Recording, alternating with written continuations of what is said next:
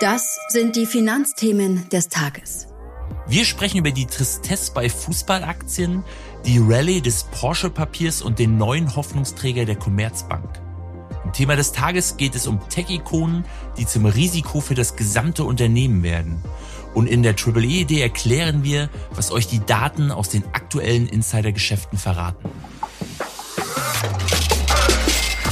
Alles auf Aktien, der tägliche Börsenshot. Es begrüßen euch Holger Czapitz und Nando Sommerfeld aus der Weltwirtschaftsredaktion.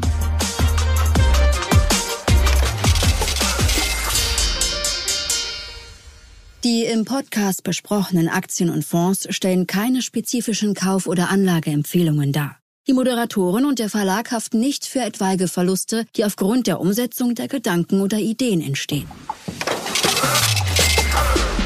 Blick auf die Märkte. Heute ist Montag, der 21. November und wir wünschen euch einen aufregenden Start in den Tag. Die Aufregung in Sachen Geschäftszahlen, die dürfte sich in dieser Woche zwar in Grenzen halten, denn nach den Wochen mit ganz, ganz, ganz, ganz vielen Geschäftszahlen ist diese Woche eher so ein bisschen lahm und wir haben ja auch irgendwie Thanksgiving am Freitag und deswegen ist auch so eine Feiertagswoche. Aber es gibt einen wahnsinnig spannenden Wettstreit an den Börsen gerade. Nämlich auf der einen Seite, wie weit müssen die Gewinnschätzungen noch nach unten genommen werden, weil möglicherweise die Wirtschaft nicht so stark wächst. Und auf der anderen Seite, wie stark können möglicherweise die Zinsen fallen, weil die Inflation ihren Peak gesehen hat und die Notenbanken möglicherweise nicht so weit die Zinsen anheben müssen. Und dieser Wettstreit wird in dieser Woche auf jeden Fall nochmal neues Futter bekommen. Es gibt nämlich so Frühindikatoren von der Wirtschaft und die werden zeigen, ob wir so eine sanfte Landung mit sanfter Inflation hinbekommen. So ein Goldlöckchen-Szenario nennen die das, die Profis. Und äh, das wird hoffentlich diese Woche weisen. Also doch gar nicht so unspannend. Nein. Die nächsten Tage. Wettstreit. Du hast auch einen Wettstreit bei dir im Angebot. Ja, ja, genau. Natürlich den Wettstreit, über den gerade alle reden, auch aus anderen Gründen. Hast du das Eröffnungsspiel gesehen? Ja, das war das, war das erwartet schwache Spiel. Also wirklich, naja. Vor leeren Rängen. Aber nicht, gut, nicht der Rede wert. Aber auf jeden Fall jetzt, da die Winterweltmeisterschaft in Katar begonnen hat, müssen wir gleich mal eins klarstellen. Fußball und Börse, das passt überhaupt nicht zusammen. Wir werden also jetzt nicht versuchen, wir haben es überlegt, aber wir lassen es sein, hier krampfhaft tolle Fußballaktienideen zu kreieren. Und wir haben uns mal die Wertentwicklung der wichtigsten oder überhaupt börsennotierten europäischen Fußballclubs herausgesucht. Was soll ich sagen, die ist tatsächlich ähnlich mies wie das besagte gestrige Auftaktspiel zwischen Katar und Ecuador. Also was man sieht, alles Geld nicht zu den Aktionären, sondern eher zu den Spielern. Manchester United, das ist ja die größte börsennotierte Fußball-AG. Die haben seit Jahresanfang 7,8 Prozent verloren. Das ist relativ moderat jetzt im Vergleich zu dem Gesamtmarkt, aber auf fünf Jahre annualisiert, also Jahr für Jahr minus 7 Prozent. Juventus Turin, seit Jahresanfang minus 22, fünf Jahres Performance jährlich minus 12. Borussia Dortmund fast genauso, seit Jahresanfang minus 20, minus 10 in den letzten fünf Jahren. Ajax Amsterdam immerhin ein bisschen besser, was die Fünfjahres-Performance anbetrifft. Seit Jahresanfang auch minus 21. Auf fünf Jahre sieht immerhin Jahr für Jahr 3,3 Prozent. Rom, da ist jetzt die Jahresanfangsperformance besser, nämlich 31. Aber wenn man die Aktie schon fünf Jahre hält, minus 4,2. Und Lazio minus 5 seit Jahresanfang und auf fünf Jahre sich minus 1,9. Also da ist für Aktionäre wirklich nichts zu holen. Und wenn man da guckt, es gibt auch keine Fußballindizes mehr. Die haben sie alle zugemacht, weil da auch keiner mehr ein Produkt auflegen will. Ja, das war dann doch ganz doch, interessant. Eindeutig. Ja. Aber viel mehr wird es dann zu Fußballaktien die nächsten Tage auch nicht geben. Wahrscheinlich. Außer wir entdecken doch noch irgendwo eine Perle. Oder der Füllkrug schießt am Mittwoch Der Füllkrug. Aber Füllkrug, egal. Nee, egal ist das nicht, aber wir haben jetzt am Samstag genug über Füllkrug gesprochen. Erst einmal. Die Porsche-Aktie, die hat am Freitag auf äh, Rekordhoch geschlossen bei über 107 Euro. Äh, die Aktie des Sportwagenherstellers befindet sich im Rallye-Modus und hat äh, vom Emissionskurs, der ja bei 82,50 Euro lag, gut 30 Prozent gewonnen. Und inzwischen sind auch die Analysten optimistischer. Zuletzt gab es da einige Kaufempfehlungen, zum Beispiel von JP Morgan, Kurs 140 Euro. Jürgen Pieper vom Bankhaus Metzler, der hat 130 äh, Euro ausgerufen, Goldman Sachs 120 Euro. Ja, und das Unternehmen ist inzwischen schon 97,5 Milliarden Euro wert und deutlich mehr wert, wir hatten das schon erwähnt, als Volkswagen mit 85 Milliarden. Und könnte schon im Dezember in den DAX aufsteigen. Dann haben wir noch einen fetten Absteiger, Coinbase, vergangene Woche, minus 21 Prozent. Das mag jetzt so ein bisschen kontraintuitiv sein, denn mit dem Kollaps des Konkurrenten FTX ist ja ein Konkurrent verschwunden. Und wenn man beispielsweise jetzt Pepsi zumachen würde oder FedEx sagen würde, ach, wir wollen kein Geschäft mehr machen, dann wäre das ja eher positiv für Coca-Cola oder auch für Deutsche Post, die ja so ein FedEx-Konkurrent sind. Bei Krypto allerdings, da ist es ein bisschen anders, denn die Pleite von FTX, die hat jetzt zu so einem generellen Vertrauensverlust geführt. Und immer weniger Anleger wollen traden und viele ziehen ihre Coins auch von der Plattform ab und das führt natürlich zu sinkenden Umsätzen bei Coinbase. Und bei Coinbase muss man ja wissen, oder bei allen Börsen, die haben relativ starre Fixkosten. Und wenn dann die Umsätze wegbrechen, dann brechen auch die Gewinne weg und es geht schnell ins Minus, aber auch eben nach oben. Aber jetzt scheint es halt nach unten zu gehen. Ja, und inzwischen rücken auch die letzten Optimisten von dem Papier ab. Die Bank of America hat am Freitag die Aktie auf Halten gestellt, von vorher kaufen und das Kursziel von 77 auf 50 Dollar gestutzt. Zwar sei Coinbase kein weiteres FTX, schreibt Analyst Jason Kupferberg, aber der Gegenwind sei jetzt immens, was du auch gerade schon beschrieben hast, lieber Holger. Wenig vertrauenserweckend ist auch, dass äh, der Coinbase-CEO Brian Armstrong kurz nach dem FTX-Kollaps gut 27.000 seiner eigenen Aktien verkauft hat. Puh, ja, das sieht mhm. auch nicht so gut aus. Wenn der jetzt denken würde, die Konkurrenz ist weg, bei uns brummen die Geschäfte, hätte er sicherlich keine 27.000 Stück verkauft, das stimmt. Und am Sonntag gab es dann noch eine positive Meldung von einer unserer ehemaligen AAA, den Commerzbank. Die hat den vierten Aufsichtsratschef binnen drei Jahren bekannt gegeben und besonders prominenter ist es diesmal auch. Und zwar der ehemalige Bundesbankpräsident Jens Weidmann. Der soll nach der Hauptversammlung am 31. Mai 2023 den Posten des Chefkontrolleurs übernehmen. Und ich kann mich noch erinnern, als Axel Weber, der war ja auch mal Bundesbankchef und hat auch mal hingeschmissen, den Verwaltungschefposten bei der UBS übernommen hatte, das tat der Aktie jetzt so schlecht nicht. Ja, aber man muss doch sagen, es läuft auch ohne Weidmann ganz gut bei der Commerzbank. Das Papier hat seit Jahresanfang 20 Prozent an Wert gewonnen und das in dem Umfeld. Ja, es, es ist so ein bisschen wie die Lazio-Rom-Aktie. Wenn, du auf fünf Jahre, wenn du auf fünf Jahre Sicht guckst, dann sieht das nämlich nicht so gut aus. Dann haben die nämlich wirklich äh, fett verloren, minus 33 Prozent. Und das sind acht Prozentpunkte pro Jahr hinter dem Index zurück. Da, da, muss, da muss der Weidmann noch was machen. Na gut, meinetwegen. Weidmann, bitte übernehmen Sie. Übernimmst du dann auch die Termine, lieber Holger? Ja, ich hatte schon angekündigt, dass es diese Woche nicht so prall aussieht. Aber wir haben gleich heute Erzeugerpreise in Deutschland. Da ist ein bisschen das Narrativ Peak Inflation. Also sie sollen zurückgehen, also nicht zurückgehen, aber das hohe Plus soll ein bisschen rückläufig sein. Das ist die Erzeugerpreise. Dann haben wir Unternehmen Zoom Video, Futu Holdings, das ist so ein Lieblingswert von Kathy Wood, von Thelen und, und Beckers.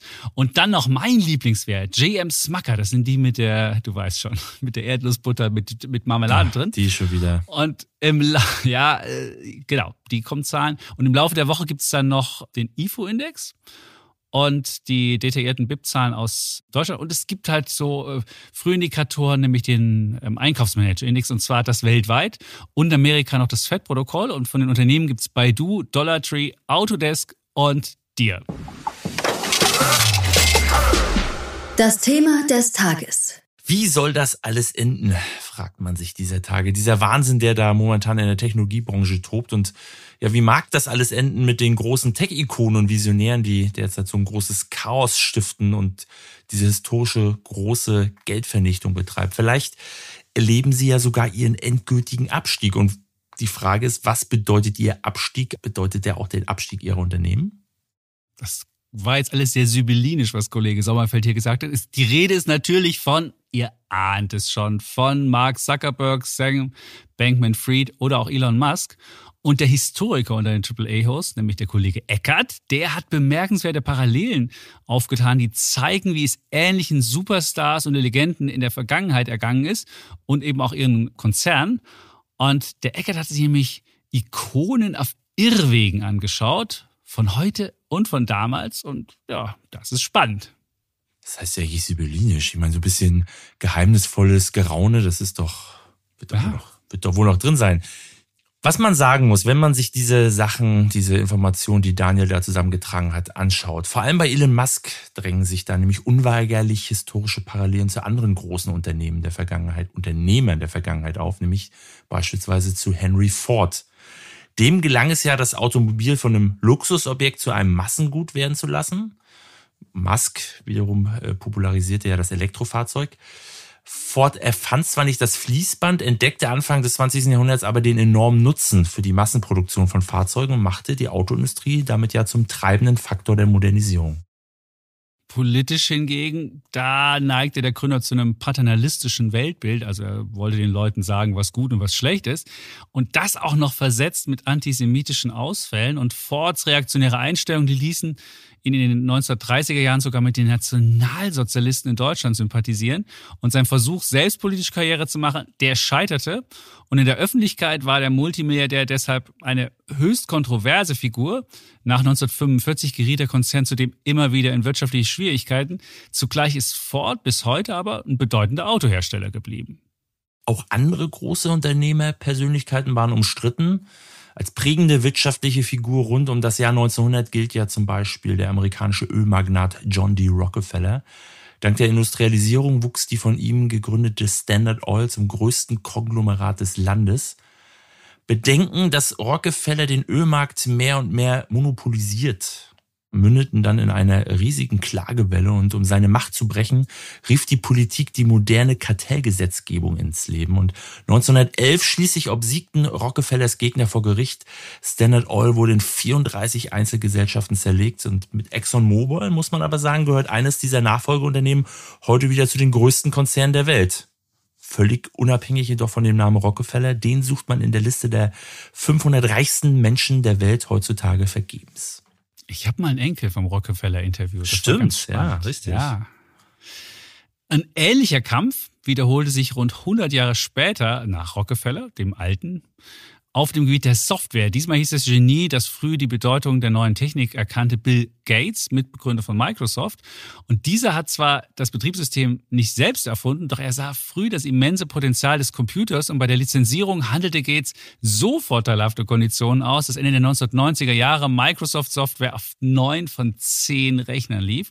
Und das brachte Microsoft ein Zerschlagungsverfahren der US-Regierung ein, das der Unternehmer am Ende nur wirklich knapp abwenden konnte. Als Chef galt Gates ähnlich schwierig wie Tesla-Gründer Elon Musk heute.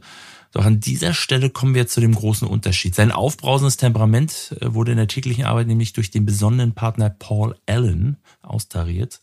Auch beim Konkurrenten Apple funktioniert das so ähnlich. Da fungierte nämlich der zurückhaltende Steve Wozniak ganz wesentlich als wichtiges Gegengewicht zu dem exzentrischen Visionär Steve Jobs. Und wo dieses ausgleichende Moment fehlt, da kann es dann zu Schwierigkeiten kommen. Nur Ja-Sage im Umfeld eines Genies können zum Problem werden und fehlt die Kritik, dann fehlt auch ein Korrektiv. Und ein Risiko, das bei Musk und Zuckerberg ganz offensichtlich gegeben ist.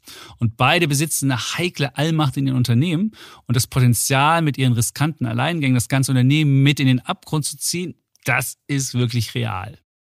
Und was auffällt, drei der großen Big Techs, Alphabet, Apple und Microsoft nämlich, die haben sich von diesem Risiko befreit. Die Dominanz der Eigentümer gibt es dort nicht mehr. Das sagen haben jetzt andere. Und es dürfte kein Zufall sein, dass genau diese Konzerne am stabilsten derzeit in der Krise wirken. Und nicht nur das, sie haben bereits bewiesen, wie gut es dem Aktienkurs tut, wenn auf die Gründer und Visionäre ein kluges Management folgt. Beispielsweise Microsoft acht Jahre nach Gates endgültigen Ausscheiden, das war 2014, ist Microsoft immer noch einer der größten Technologiekonzerne der Welt. Und seither haben die Aktionäre ihr Kapital mit der Aktien nahezu verzehnfachen können. Ähnlich gut ist auch die Aktienkursbilanz bei Apple und bei Alphabet ist das Ausscheiden von Larry Page und Sergey Brin erst drei Jahre her, doch seitdem kann sich die Entwicklung von Unternehmen und Aktie ebenfalls sehen lassen.